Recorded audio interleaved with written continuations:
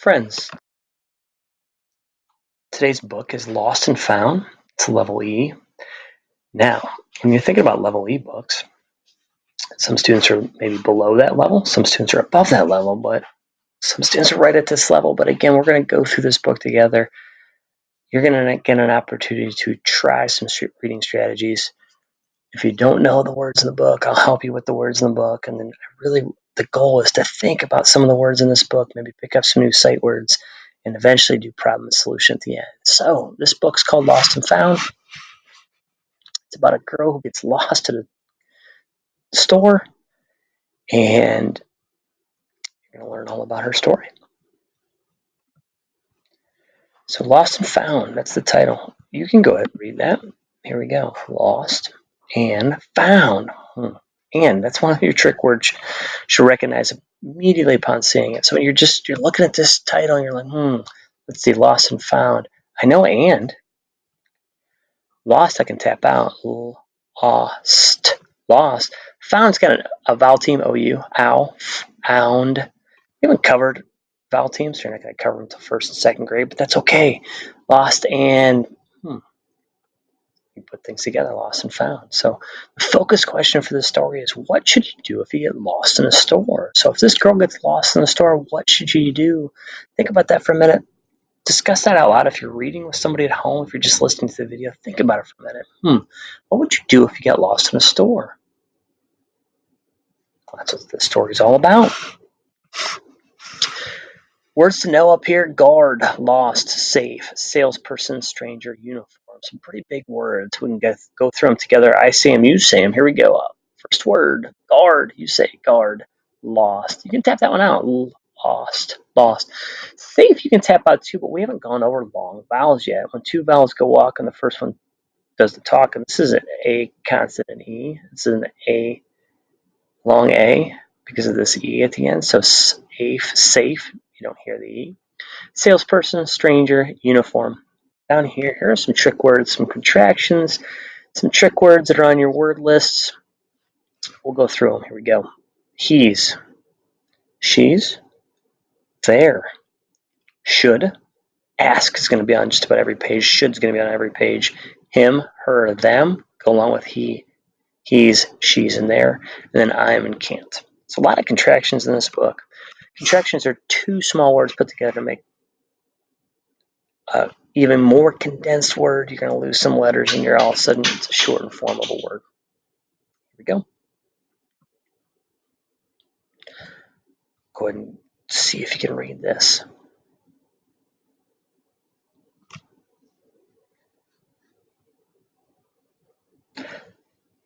Great. I'm lost in the store. Hmm.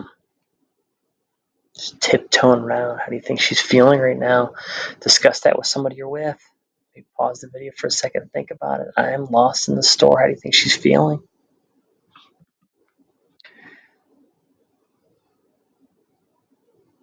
Go ahead and read it.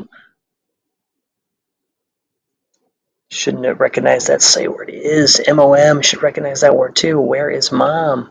You can go ahead and read it together. Where is mom? Question mark. Oh boy. Now you can definitely get a feel for how is that main character feeling at this point in the story. How's she feeling? Maybe she's worried. Maybe she's sad. Hmm, this is that trick where we talked about should, so give it a shot. See if you can read it should.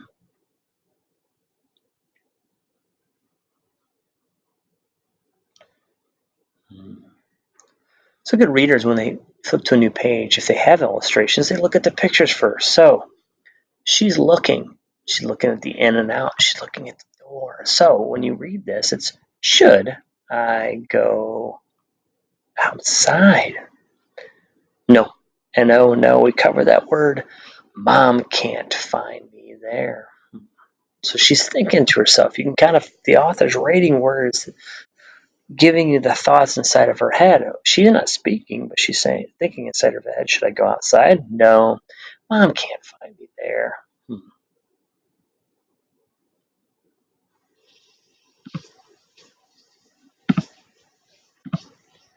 Next page, let's see if you can read it should. That's that should word again.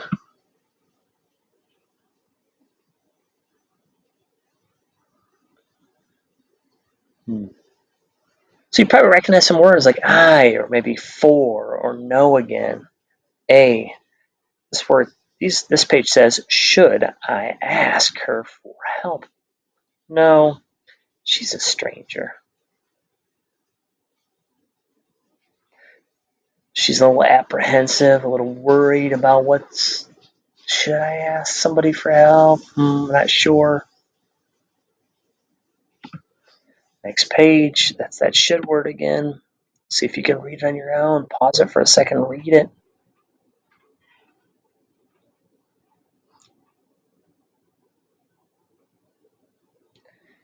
So she finds somebody else in the store and she says to herself in her brain, she's like, hmm, should I ask him for help? No, he's a stranger. Hmm. Let's read it together. Should I ask him for help? No, he's a stranger.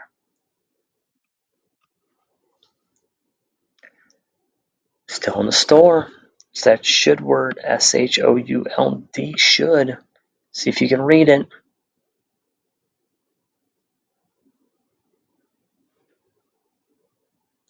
There's that contraction. It's got a short form of a word. Look here.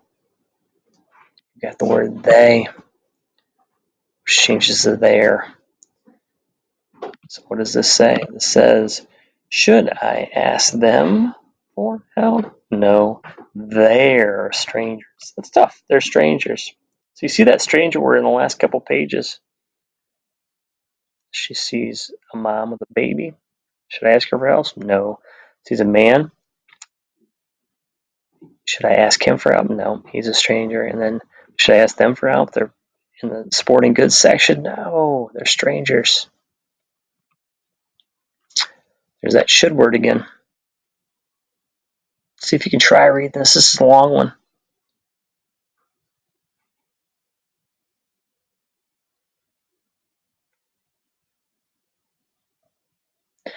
Tough page.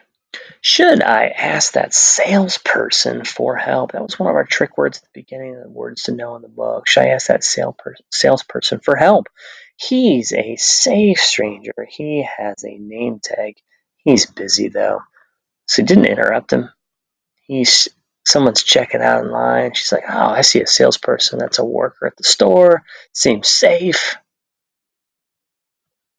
He has a name tag. He's busy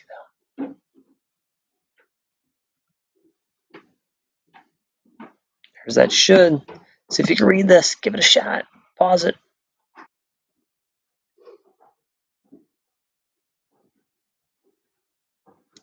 So you know it's a, just looking at the picture, you know it's a she. Should I ask that guard for help? She's a safe stranger. She has a uniform. Hmm.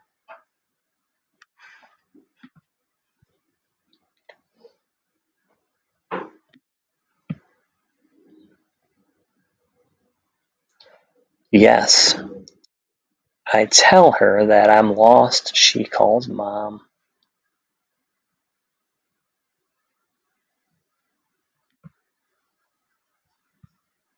Let's go back to this page real quick. I tell her I'm lost. She calls mom. Hmm. So the girl didn't have a phone, but she would have called her mom. What What do you think's happening here with the conversation between the girl that's lost and the security officer in the store. What do you think she had to do? I tell her I'm lost. She calls mom. What did she have to do? What did she have to tell her? She tell her phone number. It's very important to know your phone number.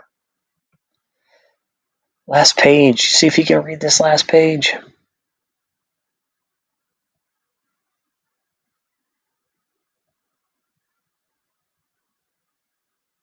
Big.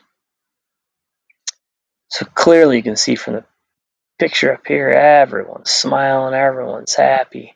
I'm so happy to see mom. Mom says I did the right thing. I stayed put and only talked to safe strangers.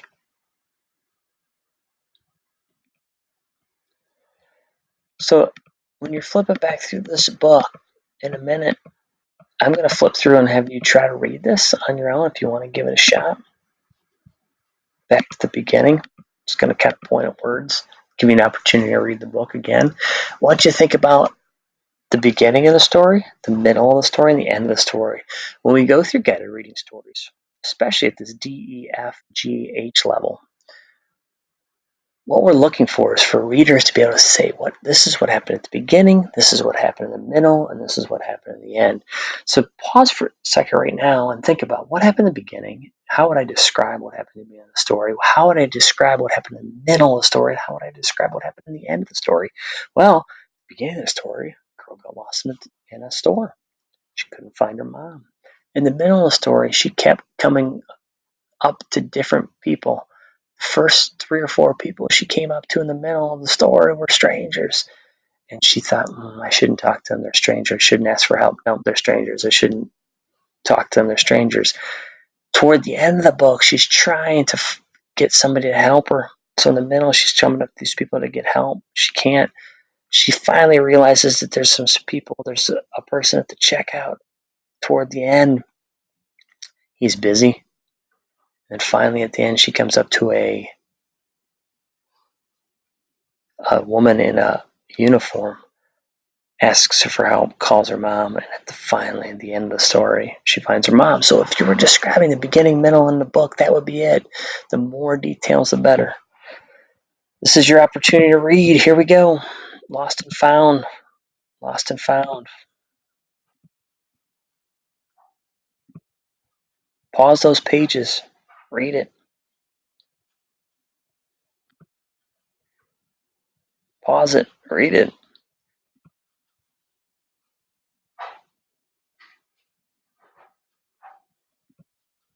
You need more time. Pause it. So if you come to a word, should I ask for help? So should's a, it's a trick word. You're going to need to recognize it right away. Can't tap that one out. Should I ask for help? No. She's a stranger. Some of these words we haven't gone over the the phonics rules for them. It's okay. You can attack the beginning sounds, and use the picture, and try to figure it out.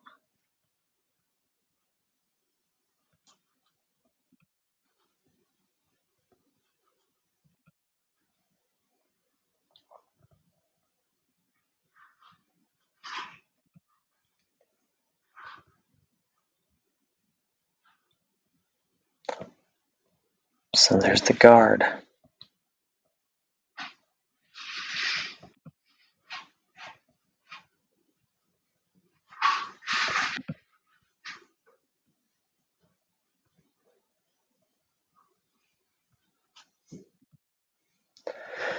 Okay, now that we're done with the story,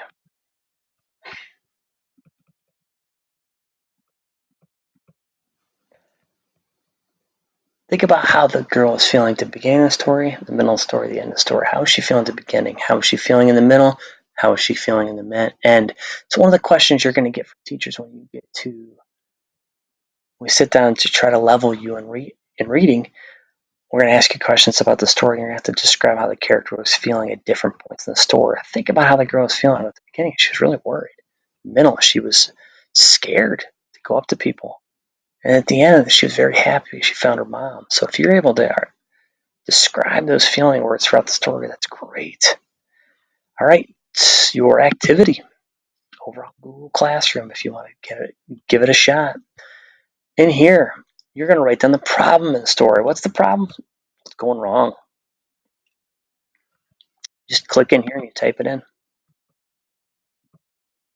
The problem